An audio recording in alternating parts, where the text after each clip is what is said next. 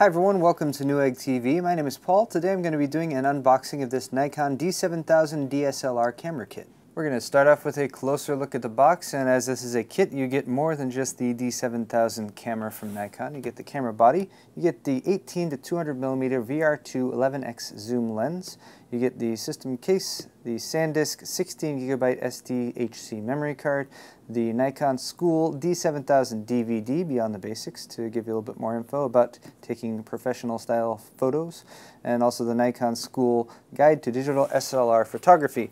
Here on the side is an example of the uh, wide angle telephoto lens that is included. 18 to 200 millimeter range. As you can see, here's 18 millimeter. You have a nice wide distant angle and you can go all the way up to 200 millimeter and then you can see the crane very close up. Also you get uh, VR image stabilization, so just an example down there. With image stabilization you get sharper images. Some more features are listed here on the back as well as an actual layout of all of those products. I'm going to take them all out of the box, so we'll take a closer look then. Uh, the AFS DX uh, Nikkor 18 to 200 millimeter f 3.5 to 5.6 G ED VR2 lens. High resolution 16.2 megapixel, that is the uh, megapixel capability of the D3000 that's included. DX format, format CMOS sensor. Uh, you can do full HD 1080p movies. You have a high-speed 6 frames per second shooting speed, uh, 921K dots, 170 degree viewing angle 3-inch LCD monitor, large bright glass pentaprism optical viewfinder, fast accurate 39-point autofocus system, 2016 pixel RGB 3D color matrix meter 2 for color metering, Low noise dynamic ISO range from 100 to 6400 and expandable to up to ISO 25600, which is fairly ridiculous with the sold separately lens.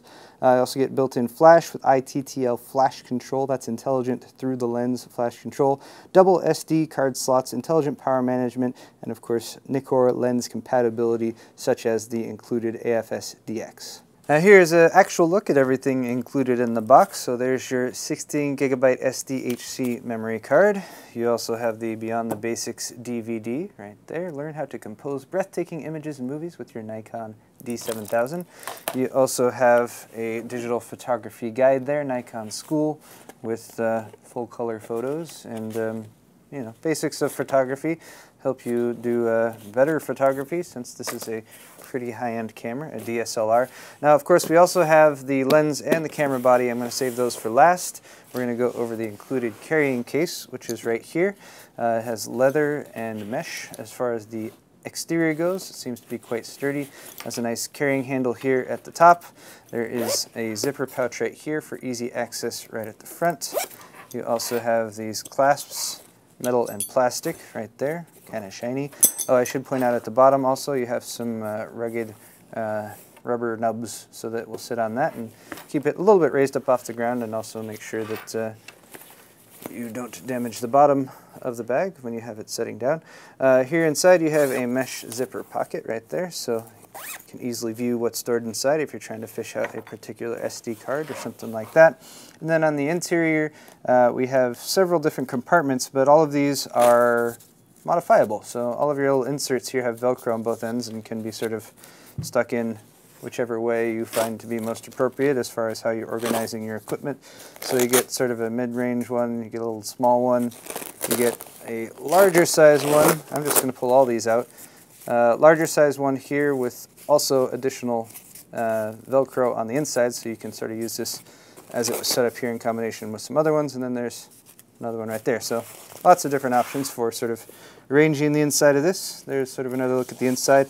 Uh, nice and soft, should keep all of your equipment safe. There's some delicious silica gel. Don't eat that. And finally we have this external pouch right there, which is uh, just a pouch, but there's where you can store some more stuff. Oh, I should also mention, I'm forgetting there is a small pouch on the side right there also Velcro to keep that closed. You got one of those on either side. Ta-da, there's one there as well. And then finally, of course, you have a carrying strap, so a shoulder strap there for easy transportation. And here's the contents of the lens box. Again, the AFS DX Nikkor 18 to 200 millimeter f 3.5 to 5.6 G ED VR2. Uh, first off, right here, you have five years of protection, so you get a one-year Nikon limited warranty plus four years of Nikon Inc. USA extended service coverage, so a total of five years of protection included there. You just need to send that in to register your product. You also have a manual here, and this is just for the lens. Let me just flip here. There's the English section, section right after the Japanese section. So it gives you a full layout of the lens and how to control it. Uh, that's the lens, which I'm saving for last in this part. In this little box, you have some accessories for the lens, including a lens hood, ideal for outdoor shooting, of course. You also get a lens carrying pouch because lenses are very delicate. You want to treat them with great care. So a nice soft pouch right there to store your lens in and a little drawstring to uh, close up the pouch. And here's a closer look at the lens. Here, of course, we have a lens cover, so you always want to keep track of that. Uh, I'm going to leave it on, so we'll keep the lens nice and protected. And uh, again, you have quite a range for zoom here. You can lock the zoom, so right now it's locked at 18, and that will keep this uh, ring here locked in place. If you unlock it, you can twist the ring to zoom, and you can twist from uh, 200 all the way back down to 18, just like that. You also have a focus ring right here, and you also have a little window, and that will give you your focal length index and distance scale. So as you can twist that, uh, you can look through there and see. So set it up to infinity. Uh, over here on the side, we have uh, manual to auto switch right there, manual switch. You also have vibration reduction, so you can just simply turn that on and off. Then finally, you have a normal or active, and that's just the different modes the vibration reduction can be active in. Now we're moving on to the D7000 itself. So here is everything that's included in the D7000 box. Of course, we have the camera body, which we'll take a closer look at in just a moment. Uh, for documentation, you have a quick start guide here, which is quite thin and manageable and uses pictures and everything like that. Uh, it gives you this, at least the version that I have here has English as well as Spanish. And then we also have the much larger volume right here, uh, again, one English, one Spanish, and that's if you really want to get into details about what this camera can do. Of course, uh, here's additional information about the warranty program that's included. Uh, you also have this little adapter cable. This is simply a AV cable, so one end plugs into the camera, the other end can plug into television, uh, so you can play back video or pictures.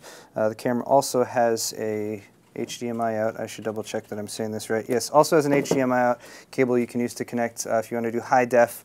Uh, that cable is not included. Uh, you get a shoulder strap here right there with the Nikon logo on it, like so. You also get a USB, so standard USB-A to mini USB plug right there. Uh, again, to plug and connect to your computer so you can transfer footage and the like. Uh, here is an AC cable so power cable here and that will plug into this uh, battery charger. So plugs in there directly if you want, uh, but they've also provided this adapter. So if you don't want to use a plug-in, you can plug this adapter straight into the wall. It's also kind of versatile, which I like. So you can plug it in like that and plug it in directly. And then there's a little release switch there, so you can rotate it 90 degrees to plug it in the wall that way. So pretty handy. Flip that back. And of course, that is to charge the included lithium ion battery, which is right here, which slots into the charger just like that. Nice and simple. Finally, this little plastic piece is actually a cover for the eyepiece on the camera in case you remove that rubber grommet. And here's a look at the Nikon D7000 body, and uh, this is sort of where the main part of the show is. Uh, this is going to be really high level. I'm only going to go over the basic functions of the camera. There are lots of knobs and buttons. This is a DSLR. It's made for professional photography, um, so we just want to really give you guys a closer look at it here and hopefully not betray too much of my lack of knowledge about higher end DSLRs. Uh, that being said, of course, at the back you have your 3-inch LCD screen. it does have a nice protective cover over it. It's plastic, uh, and that's going to keep it from being scratched, and it also gives some separation between the LCD itself, so very nice to have that. For protection. It is surrounded by lots of uh, various buttons for performing various functions for the camera. Of course, you actually have the eyepiece located directly above that. Uh, you're going to have an on-screen display here that you use to navigate through the different functions of the camera, as well as, of course, the surface-mounted buttons for actually accessing those. Uh, you have a jog dial right here at the back that's going to be within easy reach of your thumb as you're holding the camera, like so. You also have another jog dial up here at the front of the camera that has a little red accent right below it. Again, both of those easily accessible by your thumb and your pointer finger. Uh, at the top here, you have, of course, the button to take a picture uh, and focus, also to turn the entire camera off or on. Uh, and then you have uh, another LCD display here up at the top that's going to give you additional information such as uh, your focal length, your ISO, uh, and uh, how many pictures you have remaining on your SD card. Uh, at the front here you have uh, your actual hub there to connect your lens. it's got a protective cover on it. I'm going to remove this for just a second because if you are swapping out lenses you want to keep as dust and any other contaminants out of that chamber. So uh, do it quickly and make sure you're in a dust-free environment when you're doing that. Uh, you have a release uh, button next to that, of course. At the top here, you have a pop-up flash. Um, actually, will not even pop up without the battery in, so, um, but the flash button is over here on the side. Uh, another uh, selector dial here up at the top, and this is uh, sort of your primary dial for switching between manual and auto mode. you also get a secondary dial right below it for some additional modes. over on this side is a little latch here, and that's where you can connect, uh, well, actually you got one on either side, so you can connect your shoulder strap. And then I will also go over these connectors here. So there's your AV out for that included AV out cable, uh, your USB connector. Uh, there's your mini HDMI plug right there. So you get an adapter and you can uh, connect this directly to uh, a monitor or HDMI enabled television and that's where you'll be able to get actual high definition output since this camera can do 1080 video recording. In here you have a discrete mic input which is fantastic especially if you're going to be doing video to have a separate mic to not have to use the one built into the camera. Also you have a GPS uh, connector right there so you can get an external GPS device, connect that in, then you can geotag your photos. On the bottom uh, we have, of course, standard mount here for a tripod.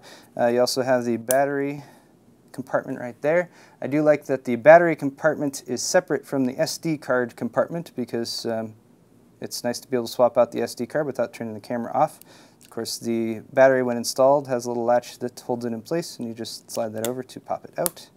And then uh, finally, over on this, this side, as you can see, we have dual SD card slots. And that's going to wrap it up for this video, guys. Once again, this has been the Nikon D7000 DSLR camera kit. I'm Paul with Newegg TV. If you enjoyed today's video, you can head over to our Newegg YouTube channel where you can find more tech videos. And of course, don't forget to subscribe. Thanks a lot for watching, and we'll see you next time.